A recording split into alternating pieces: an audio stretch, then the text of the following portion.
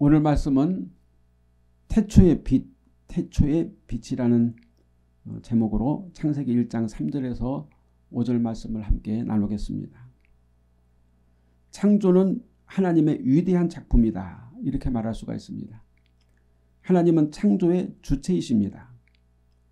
그런데 우리가 하나님을 말할 때 우리가 이제 삼위일체 하나님이다 이렇게 말합니다. 삼위일체 하나님이라는 뜻은 성부 하나님 즉 아버지 하나님 성자 아들 하나님 그리스도 성령 하나님 하나님의 영 보혜사 이렇게 삼위일체 하나님이라고 말을 합니다. 삼위일체는 하나님이 세 분이라는 뜻이 아니라 하나님은 한 분이신데 새 인격을 가지시고 우주 만물과 모든 역사를 주관하신다는 뜻으로 삼위일체다 이렇게 이제 우리가 어, 말을 합니다. 삼위일체는 어, 좀 신학적인 용어죠. 신학적인 용어고 성경에 구체적으로 삼위일체다 이렇게 나온 구절은 없습니다. 삼위일체를 정확하게 설명하는 것은 불가능합니다.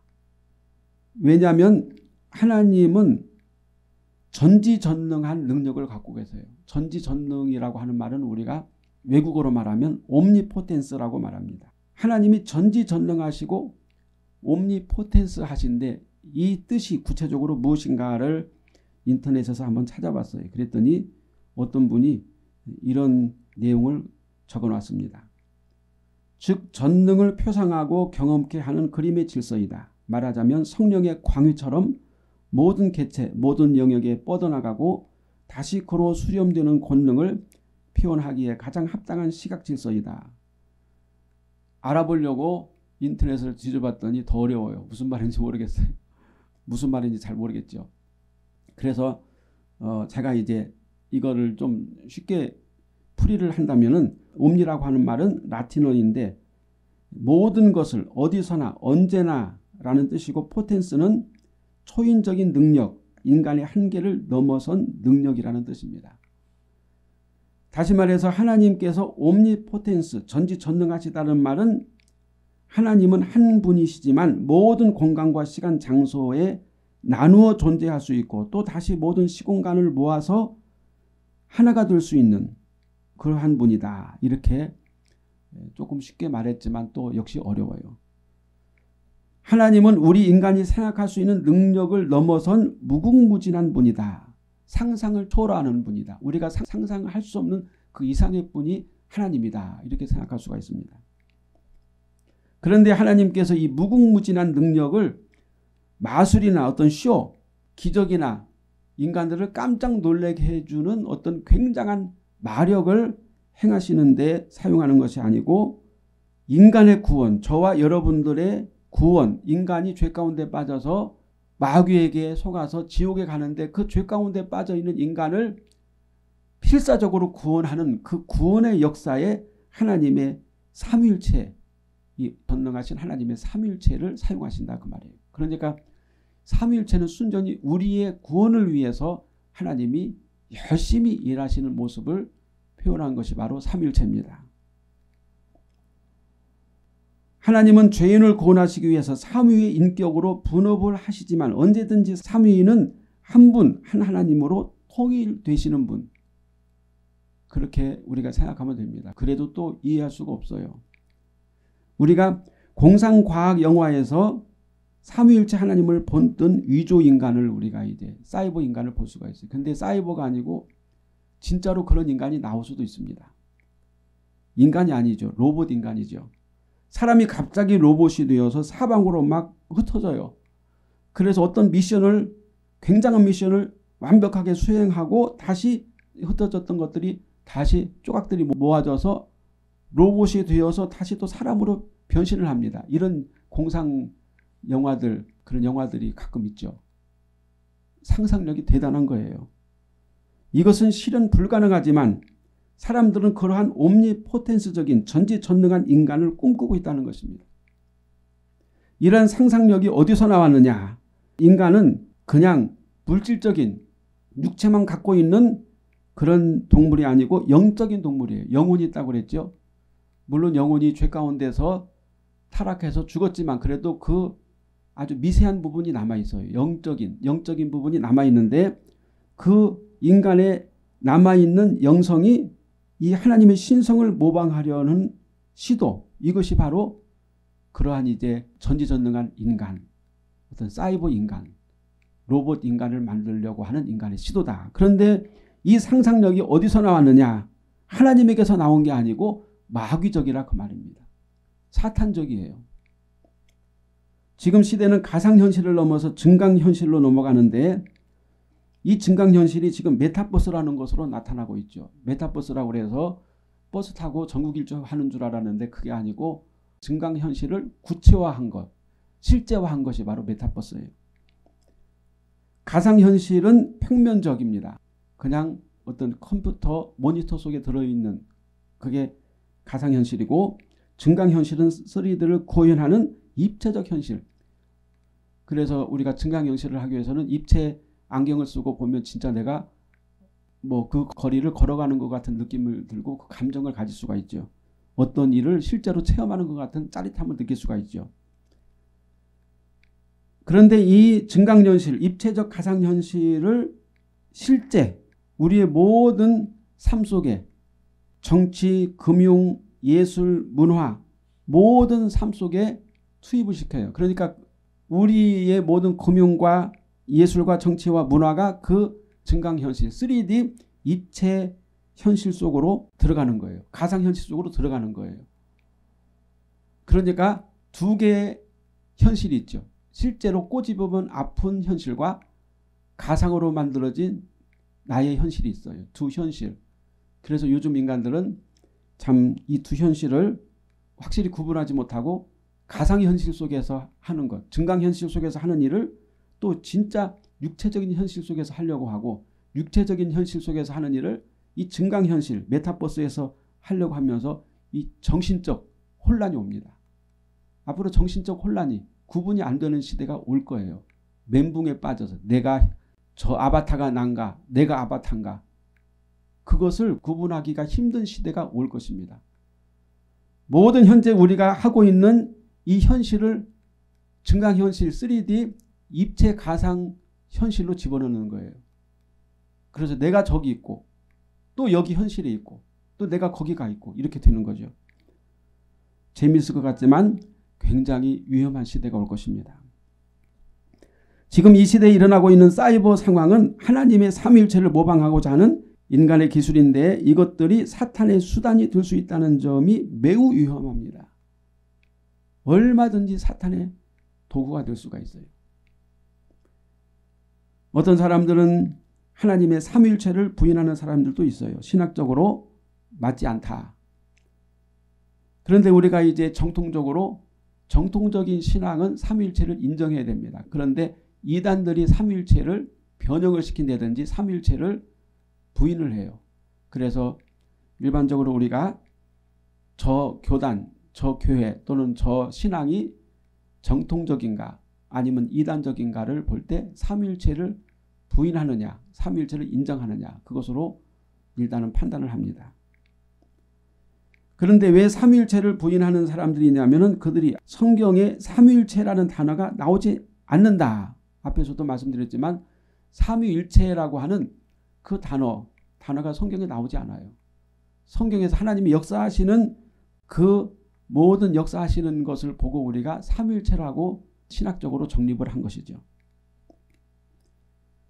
창조 사역, 하나님의 창조 사역을 보면 하나님께서 말씀을 통해서 만물을 창조하시고 그 가운데 하나님의 영이 함께 하셨다 이렇게 말씀하고 있어요. 요한복음 1장에서도 태초에 하나님과 말씀이 함께 있었고 그 말씀이 육신이 되어 이 세상에 오신 예수님 그 예수님이 곧 빛이요 생명이라고 증거하고 있습니다. 하나님은 모든 세상의 만물을 계획하신 분 그리고 또 하나님이 말씀하실 때 그 말씀이 곧 예수 그리스도 그리고 그 말씀이 실제화될 수 있도록 놀라운 영향력을 발휘하시는 분이 성령 그런데 그분이 다 한 하나님이라 그 말이죠.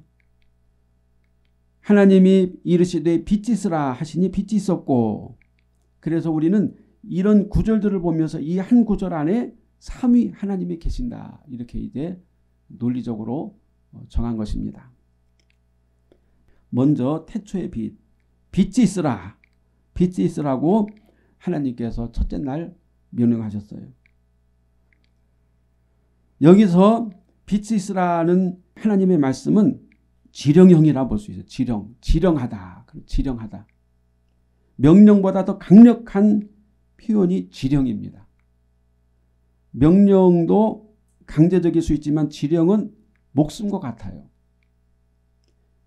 쉽게 말하면은 북한에서 간첩을 남한에 보낼 때 명령을 하다라는 게 아니라 뭘 보냅니까? 지령을 보내죠. 지령이라는 건 무슨 뜻이냐면 지령이라는 것은 명령을 실패했을 때 독이 든 캡슐을 입에 넣고 깨물어서 죽어라.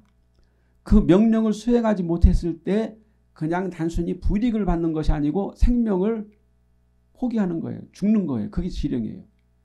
그러니까 하나님의 말씀, 하나님이 빛이 있으라고 말씀하시는 것은 이것은 없으면 죽는 거고 빛이 있으면 사는 거예요.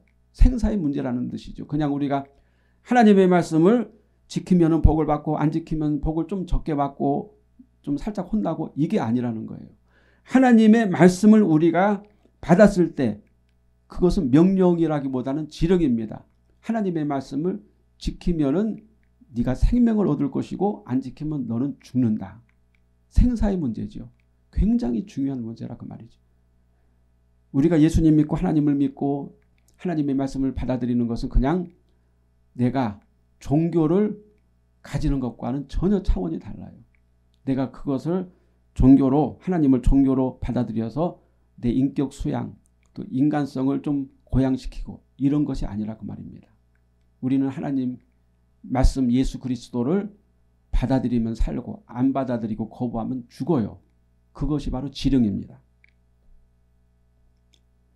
하나님께서 빛이 지속적으로 계속 있으라고 명령하신 것은 단순히 그냥 있으라 하고 명령하신 것이 아니라 하나님이 있으라고 명령하신 그 빛은 우리들의 생명과 깊은 생사와 깊은 관계가 있는 지령형이라 그 말입니다. 하나님이 빛이 있으라고 말씀하셨기 때문에 우리가 생명을 계속 유지할 수 있다는 거예요. 하나님께서 빛이 있으라고 안 하시면은 하나님께서 빛을 거두어 가시면 우리는 죽습니다.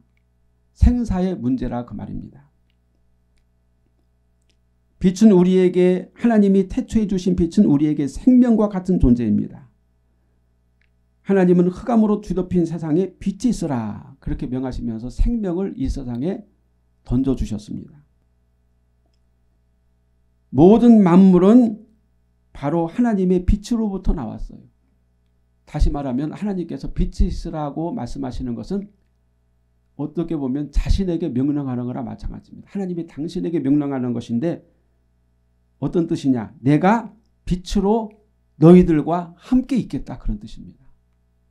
하나님이 빛이 있으라고 말씀하신 것은 내가 너희들과 함께 있겠다. 빛으로 생명으로 너희들과 함께 있겠다. 너희들에게 생명을 주고 너희들을 살리고 너희들을 지켜주겠다는 그런 뜻이 바로 빛이 있으라 하는 뜻입니다. 하나님은 이와 같이 빛이 있으라 말씀하시고 생명을 이 세상에 던져주시고 생명으로 함께 하시면서 땅이 식물을 내라 하면 땅에서 식물이 올라왔고 나누이라 그러면 나눠줬고 비추라 그러면 비추어졌어요. 바로 하나님의 생명이 이 세상에 있는 모든 만물들에게 주입이 된 것이죠. 다 들어간 것이죠. 하늘과 땅과 그리고 또 우주 만물 그리고 이 세상에 있는 모든 생물들, 나무들과 살아있는 것들 그리고 마지막 인간들에게 하나님의 빛, 하나님의 생명이 쫙 비쳐서 주입이 된 거예요. 그래서 하나님의 빛이 있기 때문에 지금 세상이 살아서 움직인다. 우리가 살아서 움직인다는 그런 뜻입니다. 하나님께서 이 세상에 빛이 있으라고 하신 것은 하나님이 그만 그만 이제 멈춰 그렇게 말씀하실 때까지 계속 계속해서 이 세상에 생명이 이어진다는 뜻입니다. 지금 우리가 살고 있는 것 물론 세상이 죄된 세상이고 뭐 어떤 사람들은 악을 행하고 어떤 정치인들 또 독재자들 러시아의 뭐 푸틴 같은 경우는 악한 짓을 저지르고 과거에도 나치 공산당 김일성 일본 많은 그 악을 행하는 자들이 이 세상에 계속 역사를 타고 내려왔지만 그래도 이 세상에 존재하는 것은 하나님이 빛을 거두지 않았기 때문에 존재한다 그 말입니다.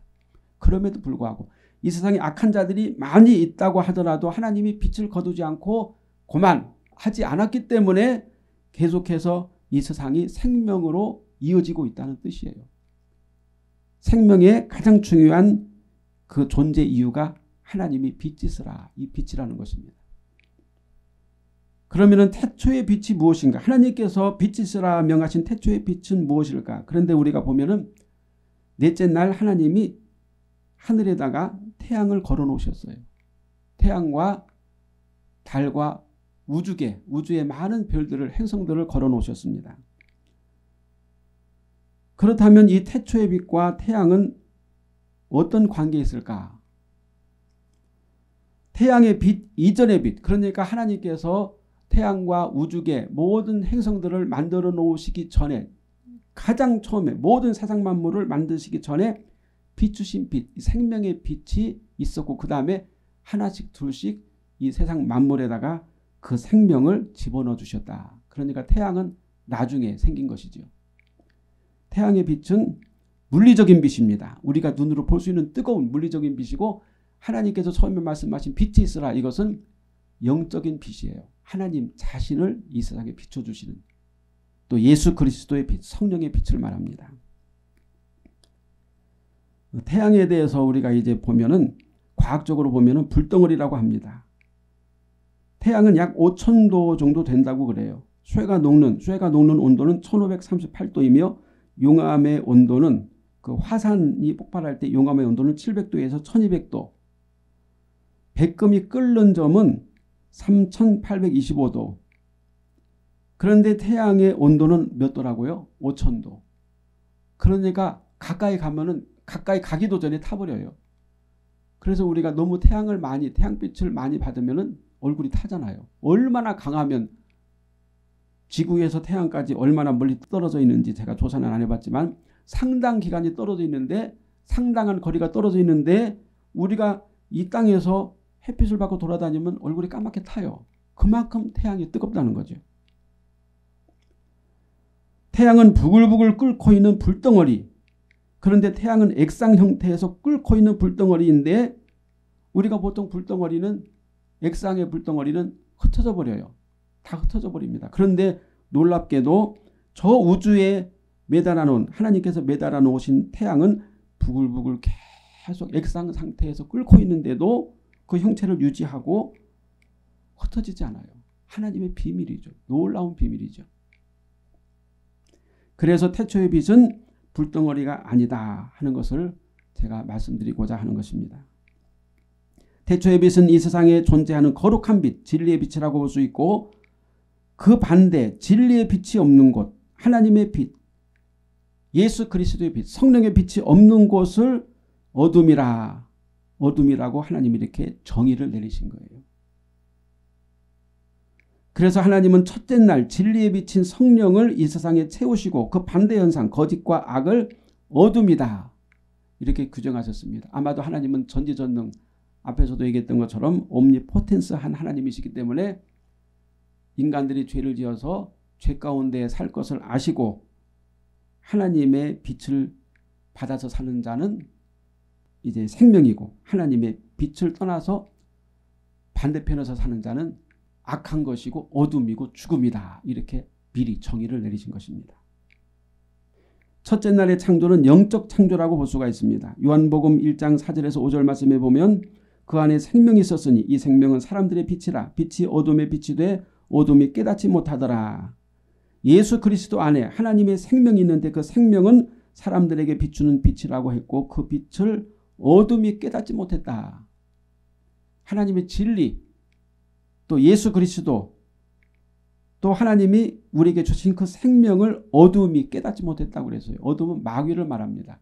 마귀 밑에서 사는 사람들, 마귀의 그 소나귀에서 사는 사람들은 하나님의 진리, 하나님이 주신 영원한 생명의 빛이 무엇인지를 알지 못한다 그 말입니다. 그래서 그냥 마귀의 소나귀 위에 놀아나는 사람들, 마귀 위에 밑에서 사는 사람들은 뭐만 즐깁니까? 이 땅에서 먹고 마시고 내 육체의 향락을 위해서만 살면 돼요. 그냥 이 세상에 살아있을 때 내가 하고 싶은 거 그게 무슨 뭐 사치든 방탕이든 쾌락이든 아니면 예술이든 음악이든 우리가 무슨 뭐 어, 음악을 하면은 뭐 선하고 예술을 하면 선하고 이렇게 술 먹고 방탕하면 악합니까? 다 악한 거예요. 음악을 하든 과학을 하든 그리고 무슨 도덕교사가 되고 뭐 착한 사람이 되라고 공자왈 맹자왈 하든 철학자가 되어서 소크라테스의 어떤 이야기를 하든 다 육체 안에 관 사람 하나님의 빛을 떠난 사람들은 다 어둠이고 악이고 그 결과는 사망입니다. 마귀예요. 학문에 있어서 어떤 것은 조금 차원이 높은 것은 저거는 그래도 괜찮지 않을까 다 똑같습니다. 다 마귀 손아귀 위에서 놀아나는 사상과 그러한 죄에 대한 이제 삶이 된다 그 말입니다. 그래서 예수 그리스도 안에는 하나님의 생명이 있는데 그 생명이 사람들에게 비췄다 그랬습니다. 그런데 그 빛을 마귀에게 속아서 사는 사람들은 깨닫지 못했어요. 저기 뭐지? 천국? 천국이 어디 있어? 하나님? 영생? 거룩함? 진리? 그게 무슨 소용이 있어? 지금 내가 현재 잘 먹고 잘 살고 그냥 하고 싶은 거 하면서 살면은 그게 복이지. 죽은 다음에 다 소용없어. 그렇게 생각한다 그 말입니다. 성령의 비춤을 받은 자들이 하나님의 자녀이고 악령 즉 마귀의 어둠에 갇힌 자들이 예수님을 믿지 않는 자들이다. 그래서 하나님은 이 땅에 태초의 빛을 주셨고 그 빛은 예수 그리스도로 오셨고 그리고 예수님께서 참 생명이 무엇인지 우리에게 가르쳐 주셨고 그리고 성령을 받은 사람들이 예수님의 말씀을 이해하고 그 영혼이 살아서 하나님의 빛, 진리의 빛, 태초의 빛을 보고 깨닫고 하나님 앞으로 나오게 된다. 그리고 진리 안에서 살게 된다. 이런 뜻입니다. 하나님은 모든 물질 세계를 창조하시기 전에 이미 빛에 있으라고 하셨고 그 빛은 세상에 있었다. 이렇게 이제 성경에서 말씀하고 있어요. 같은 얘기지만 첫째 날의 태초의 빛은 창조라기보다는 존재 명령, 즉 생존 명령. 앞에서도 얘기했죠. 하나님께서 빛에 있으라고 하신 것은 생명에 대한 명령이에요. 생명을 너에게 주겠다. 살아라. 생존하라. 존재하라. 그러한 명령이라 그 말입니다. 삼일체 하나님은 이미 영원전부터 존재하셨고 성령도 삼일체 가운데 존재하셨습니다. 그런데 우주 가운데 그 성령의 빛이 그 가운데 머물도록 하나님이 지정하신 것이 첫 번째 날 빛의 창조였다. 하나님의 빛, 성령의 빛이 우리 인간들이 살아갈 세상에 계속 거하도록 하시겠다는 하나님의 의지. 하나님이 생명으로 너희들과 함께 하겠고 생명의 빛으로 너희들을 계속 살게 해주겠다. 이것이 바로 태초의 빛입니다. 성령의 빛과 죄악의 어둠. 하나님은 첫째 날 빛에 있으라고 명령하셨습니다. 하나님의 창조는 말씀과 함께 빛으로 더불어 되어지기 때문입니다. 하나님은 왜 세상 만물 우주를 빛과 함께 시작하셨을까? 빛을 먼저 있으라 하신 다음에 세상 만물을 창조하셨을까? 그것은 하나님의 영적 원리에 따라서 세상이 만들어지기 때문입니다. 하나님은 인간을 창조하실 때 흙으로 지으시고 생기, 살아있는 영을 생기를 그 코에 불어 넣으시니 생명, 살아있는 인격이 되었다. 창세기 2장 7절 말씀에 여호와 하나님이 흙으로 사람을 지으시고 생기를 그 코에 불어 넣으시니 사람이 생명이 된지라. 여기서 생기를 하나님이 코에 불어 넣으시고 생명이 됐다고 하는 것은 동물과 인간의 다른 점을 분명히 말씀해 주고 있는 것입니다. 동물은 그냥 빚었어요. 하나님께서 빚어서 그냥 형상에다가 생명만 불어넣으셨는데 사람에게는 생기, 하나님의 기운을 넣으셨어요. 영적인 생명을 주셔서 생명, 살아있는 영혼이 되었다. 몸과 더불어서 살아있는 영혼을 우리가 가지게 되었다는 것입니다. 그래서 원래 인간은 영혼과 육체가 서로 잘 조화가 돼야지 진정한 인격체가 될 수가 있다. 우리가 이제 공부를 많이 하고 우리가 또 뭐 수련을 많이 하고 그리고 여러 가지 자기 어떤 발전을 많이 하면은 그 사람이 교양이 쌓아지고 인격이 돈독해지고 나중에 인격이 높아져서 고상한 사람이 될 수 있다. 안 그래요. 사람이 육체적으로 아무리 공부를 많이 하고 자기 인격을 수양하기 위해서 수련을 하고 의지력을 발달시킨다 하더라도 인간의 육체는 한순간에 무너집니다. 한순간의 유혹, 한순간에 마귀의 유혹에 의해서 자기가 그동안 쌓았던 수련, 지식, 교양, 인격이 완전히 무너져 버려요. 그래서 인간적인 육체만 가지고는 절대로 사람이 온전한 인격체가 될 수가 없습니다. 우리가 그런 거 잘 알잖아요. 많이 배운 사람, 굉장히 지식이 많은 사람, 그리고 사회적으로 명망이 있고 고상한 사람이 갑자기 별것도 아닌 것에 연루되어서 그 인격이 추락하는 것을 볼 수가 있죠. 비참하게 부끄럼 당하는 것을 볼 수가 있죠. 단지 이거는 그 사람에게서 표면적으로 나타나는 것 뿐이지 다 그래요 다. 육체적으로만 어떤 인격을 쌓은 사람은 살펴보면 다 나옵니다. 그 사람 털어보면 다 나와요. 그 사람의 부끄러운 부분들이 다 있어요. 그거 끄집어내면 그 사람은 무너집니다. 그래서 우리가 온전한 인격체가 되기 위해서는 영혼과 육신이 잘 조화를 이루어야 된다. 바로 그것이 하나님이 영과 육신으로 우리를 창조하셨다는 놀라운 원리에 있는 것입니다. 성령으로 창조된 인간만이 이 성을 가지고 진리를 생각하고 이해하는 존재, 이해할 수 있는 존재가 된다는 것입니다. 하나님이 인간의 코에 불어넣으신 생기가 바로 태초의 빛, 태초의 빛을 우리의 코에 넣어주셔서 우리 안에 하늘의 생명을 육체가 가지고 있을 수 있도록 육체 안에 하늘의 생명을 담아주신 것이 바로 하나님의 생기를 우리 코에 불어넣어 주신 것입니다. 그러므로 처음에 인간이 창조되었을 때는 어둠이 없었어요. 오직 진리의 빛만이 그 인간의 영혼 속에 충만했던 것입니다. 죄가 없었어요. 하나님과 서로 교통하며 마음이 통하고 하나님의 언어를 육체로 이해하고 진리를 주고받을 수 있는 존재가 오직 태초의 사람뿐이었다. 하나님과 영적으로 교류할 수 있는 하나님과 함께 마음과 마음으로 교통할 수 있는 존재는 오직 사람밖에 없었어요. 그래서 하나님이 사람을 만나시기 위해서 에덴 동산에 종종 찾아오셨다고 성경에 기록하고 있어요. 짐승들도 서로 교감할 수 있는 것은 사람이 하나님과 영으로 하나가 됐을 때 짐승들과 교감할 수 있는 거예요. 그래서 아담과 하와도 죄를 짓기 전에는 짐승과 새들 심지어 나무들과 꽃들과 모든 만물들과 내적 교류를 할 수 있었고 그리고 그 세상의 만물을 에덴 동산 안에 있는 모든 만물들을 다스릴 수가 있었죠. 그래서 생각하는 대로 마음을 먹은 대로 원하는 대로 된 거예요. 근데 그 생각하는 대로 마음 먹은 대로 원하는 것이 누구의 안에 있느냐 누구 안에 있느냐 하나님의 뜻 안에 있었다 그 말입니다.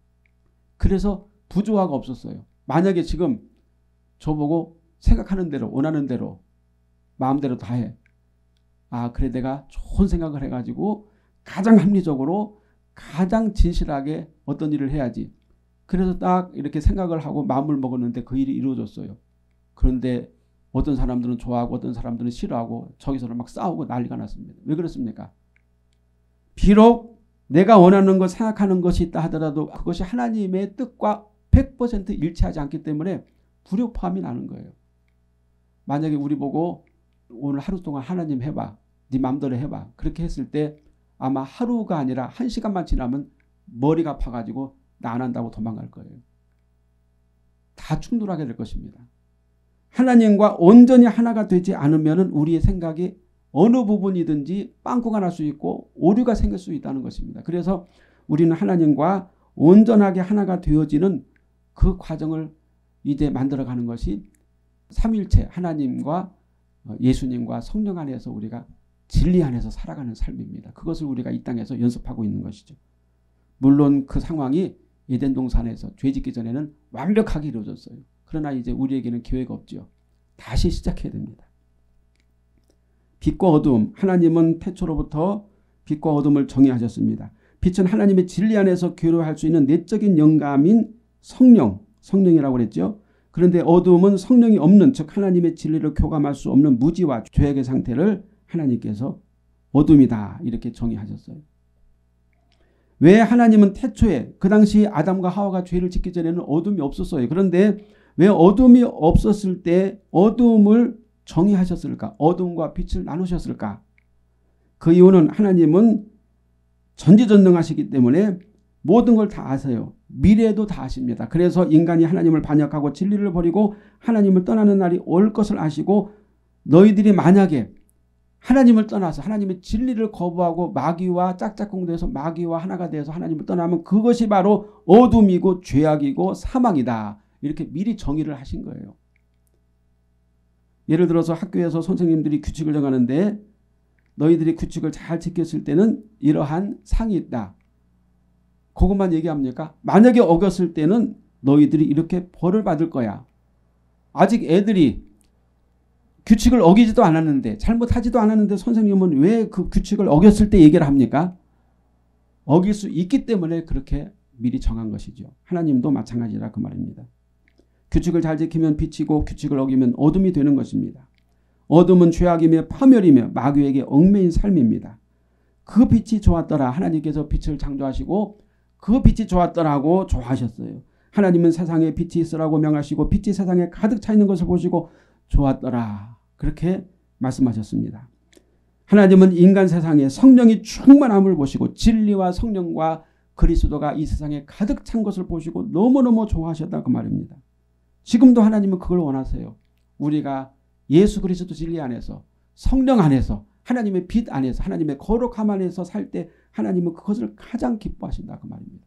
우리가 돈을 많이 벌어서 선교 현금을 척척 내고 11조를 뭐 몇천만 원씩 내고 또 교회를 크게 지어주고 어느 나라 어려운 어려운 나라 가서 선교 센터를 지어주고 이런 것도 물론 필요하지만 그보다도 더 중요한 것은 우리가 성령 안에서 진리 안에서 하나님과 하나가 되어서 우리 속에 우리 안에 우리의 삶 속에 하나님의 성령과 진리와 은혜, 빛이 가득 찬 것을 보실 때 하나님은 너무 좋아하신다 그 말이죠. 좋았다는 뜻은 기쁨과 번영과 행복과 아름다움, 즉 베스트라는 뜻입니다. 성령이 충만한 세상은 하나님이 보시기에 좋았고 하나님이 의도하신 대로 생육하고 번성하고 충만하고 정복하고 다스림이 완벽한 상태였다. 하나님께서 처음에 다섯 가지 복을 인간에게 명하셨어요. 생육하고 번성하고 충만하고 정복하고 다스리라. 이것은 하나님과 하나가 되어서 성령으로 진리로 하나님의 빛으로 완벽한 상태에서 막 번성하라는 뜻입니다. 그 안에서 풍요함을 누리라는 그런 뜻입니다. 하나님 없이 진리 없이 예수님 없이 이 세상에서 잘 먹고 잘 살으라는 뜻이 아니에요. 그것은 지옥이나 마찬가지.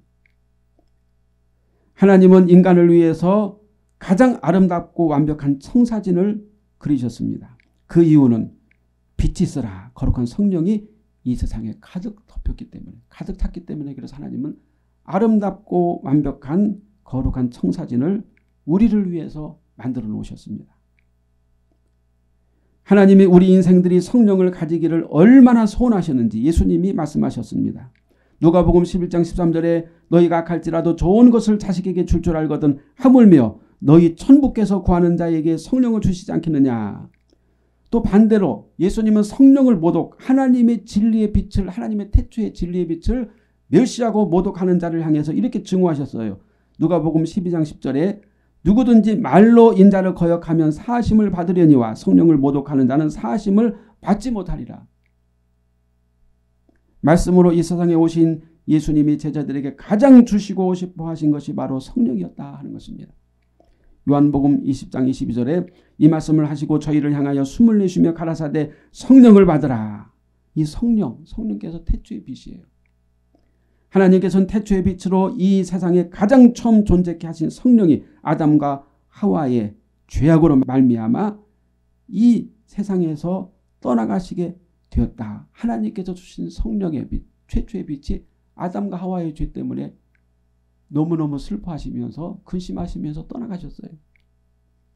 그러나 하나님의 독생자 예수 그리스도께서 다시 오셔서 하나님의 나라를 전하시고 그리고 또 우리를 위해서 대속제물로 십자가에 죽으시고 부활하시고 승천하시고 다시 성령을 보내주셔서 이 세상의 성도들의 마음속에 또 하나님의 자녀들에게 하나님의 교회에 성령이 충만하도록 성령 충만을 받으라. 그래서 하나님과의 거룩하고 온전한 관계를 다시 회복하라고 태초의 빛을 회복하라고 말씀해 주신 것입니다. 하나님은 인간들이 세상 만물 우주의 모든 원리와 인간의 몸의 원리, 사고와 지식의 모든 원리를 태초의 빛, 즉 성령 안에서 풀어가기를 그렇게 원하셨다 그 말입니다.